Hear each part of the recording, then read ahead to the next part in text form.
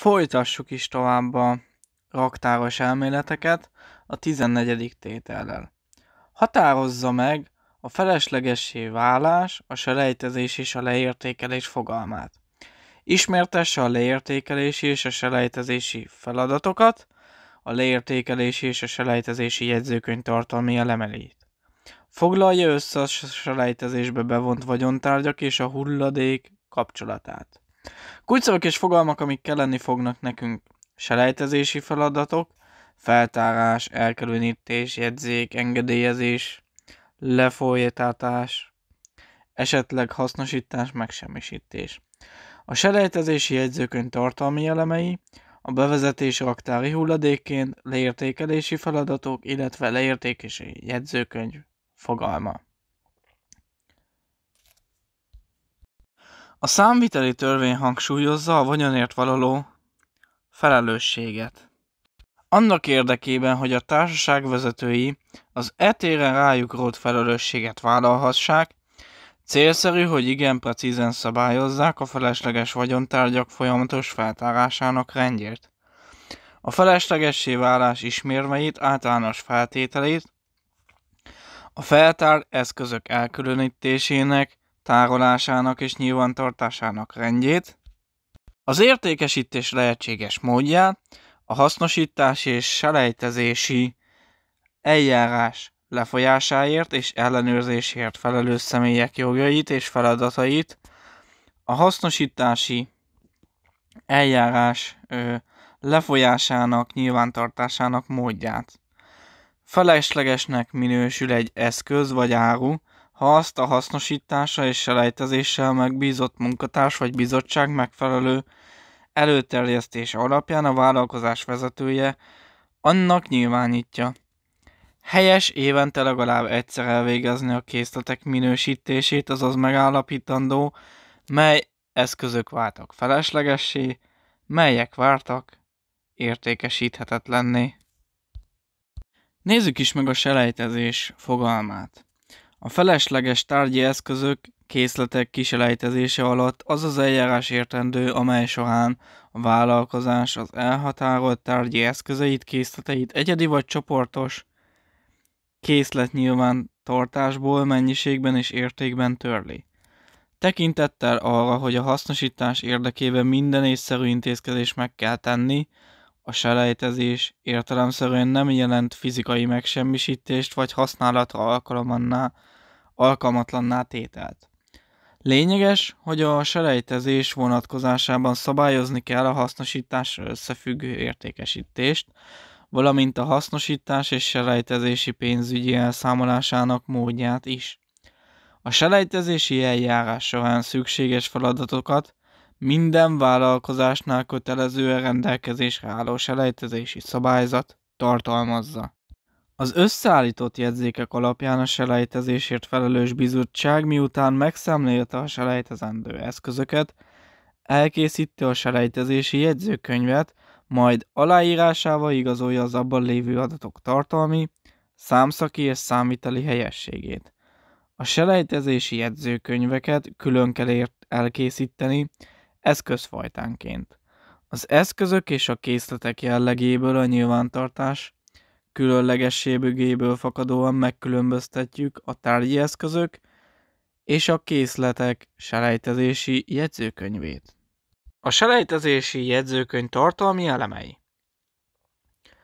a vállalkozás megnevezése, az eljárás lefolytató selejtezési bizottság jelenlévő tagjainak nevét és beosztását, az eljárás során felhasznált dokumentáció felsorolását, a selejtezés helyét és idejét, a selejtezett vagyontárgy megnevezését, azonosító adatit, nyilvántartási adatait és mennyiségét és egységárát, a selejtezett mennyiség értékét és a selejtezett mennyiséget.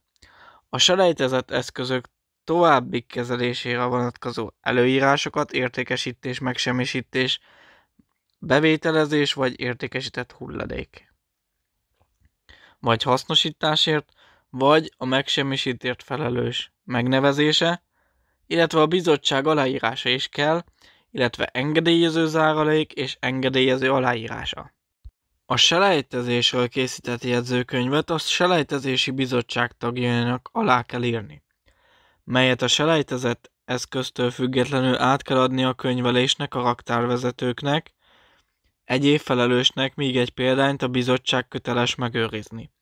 A selejtezés során keletkező egyéb iratokkal együtt. Ha a jogszabály kötelezővé teszi, akkor el kell rendelni a selejtezett vagyontárgyak megsemmisítését, ezen túlmenően, ha szükséges, a selejtezési bizottság javasolhatja a megsemmisítést.